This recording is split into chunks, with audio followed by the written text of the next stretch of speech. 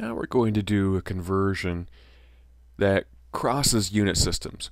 We're going to go from inches to centimeters, the imperial system to the metric system. We need to know the relationship between centimeters and inches. And luckily, there is a one-step conversion for that. Now, I don't require my students to memorize a long list of conversions, and I allow them to use a sheet of conversions. When you look at those relationships on there and you find the inches to centimeters relationship, be very careful about noticing how it's presented. Your relationships between metric prefixes are exact. You know, a thousand kilometers per meter, that's exact. The relationship between units in the imperial system are exact. 12 inches per foot, 3 feet per yard. When you cross unit systems, you do not expect those relationships to be exact. This one is exact. There is not three significant figures in that. It's an exact relationship. We'll start this problem just like we started the previous problem. I'll put down my given information. I'll put it over 1 so I can clearly separate my numerator and denominator. And now I'm going to put the conversion in as a fraction. And I let my units guide me. So in the given information, I have units of inches, but I want centimeters. So in the denominator of the conversion, I'm going to put inches. So I get inches over inches. Well, I have to put the rest of the conversion in there. So in the numerator goes 2.54 centimeters, that rightmost set of parentheses, that is saying there are 2.54 centimeters in an inch. I see that my units of inches cancel. So I'm left with centimeters, which is what I want.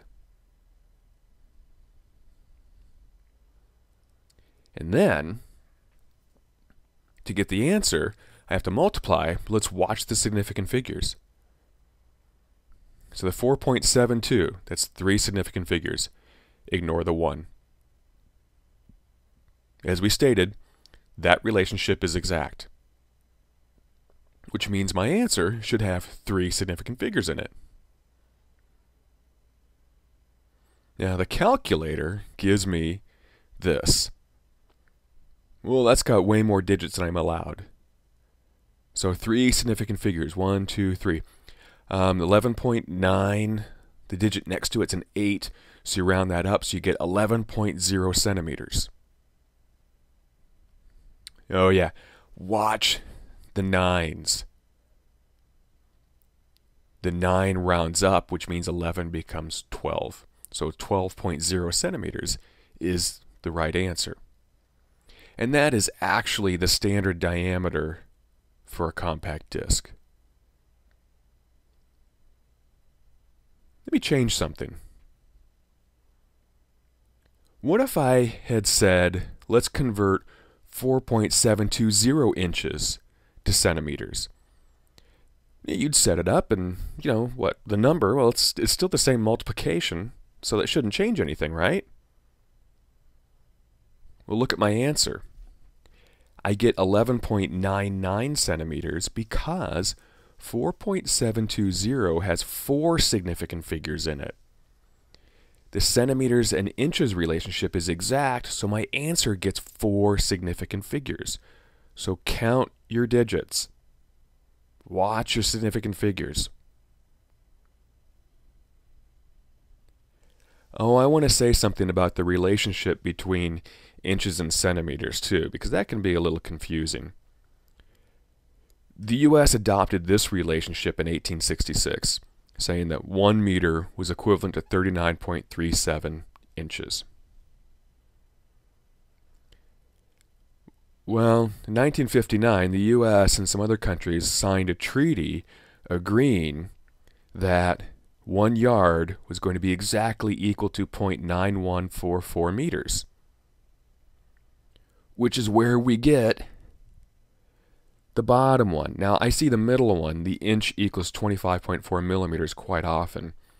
The one that I see in chemistry classes and others for converting is the bottom one. But any of those bottom three are equivalent to each other, exact relationship. But that sets up a problem. That one meter, it's equivalent to 39.37 inches. That's a U.S. survey inch. See, when they branched off, they actually changed the inch to centimeters just by a little bit. So the older definition, the US survey inch definition that is still used in surveying, is not 2.54 centimeters. It's a little bit more than 2.54 centimeters per inch. So when you're doing the relationships, use the exact one.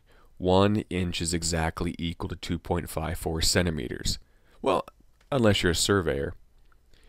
And Wikipedia actually has a decent summary of the history of an inch.